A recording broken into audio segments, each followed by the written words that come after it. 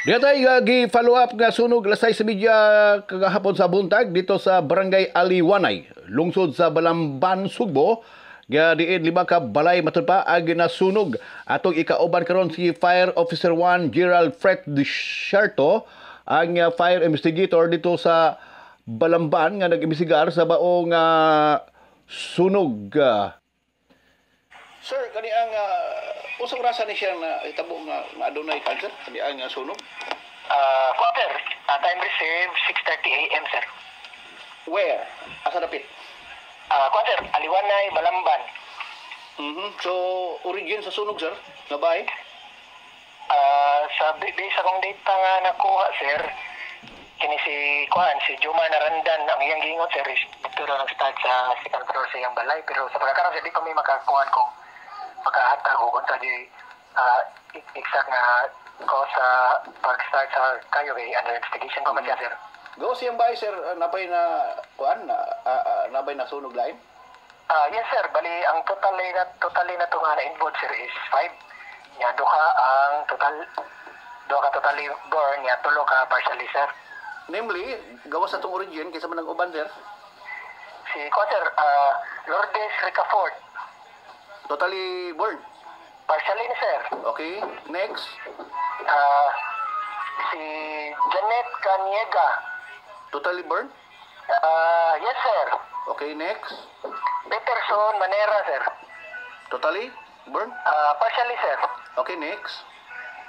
Kang ko sir Daryl Tampus. Totally born.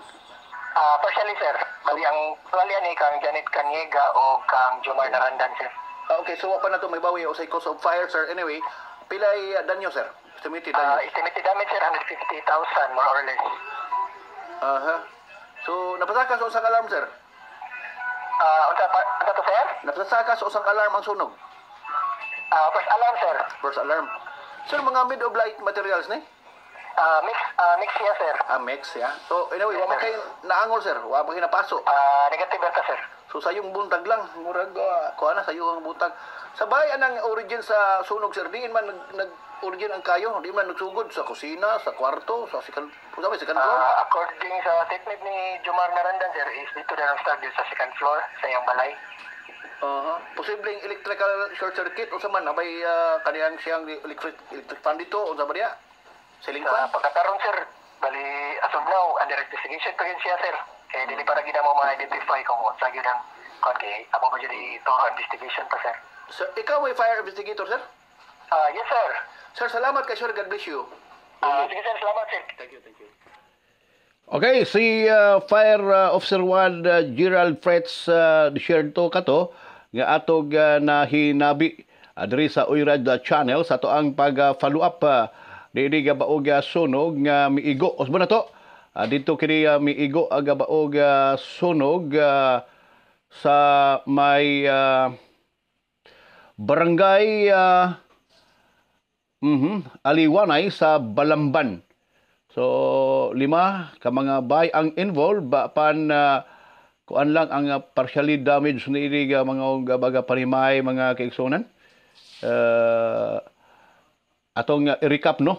Uh, first alarm damage uh, 150,000 uh, origin sa maog nga sunog uh, bay ni Jomar uh, narandan uh, og uh, sa second floor gagikan ang uh, kayo wa pa mahibaw ikod uh, unsay cause of fire. Og uh, dayod uh, mi uh, tapon ang kayo. Ngadto milamoy sa lain primay ngadto ni uh, primay ni Janet sa Kanyega totally burn uh, kag uh, Daryl Tampos totally burn uh, kang uh, Peterson uh, Manera partially damaged og kang Lourdes uh, Ricafort uh, partially burn uh, og uh, ang uh, danyos uh, gi uh, bana-bana. Ngadto sa 150,000 pesos nya pasalamat lang ta. Kaway uh, na disgrasya.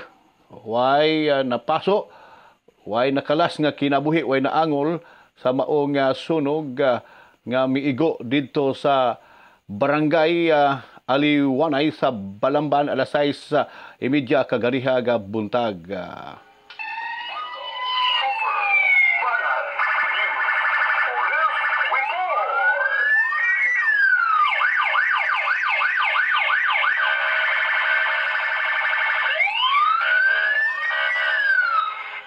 Oto ato ang dugang mga police report sa mga palabyog balita dili sa atong Uray channel abo sa landong sa Argao Superbanat News ASB News. Agaw ba igon mag-ampo ta, mag-amping sa kanunay. Bye-bye. I love you all.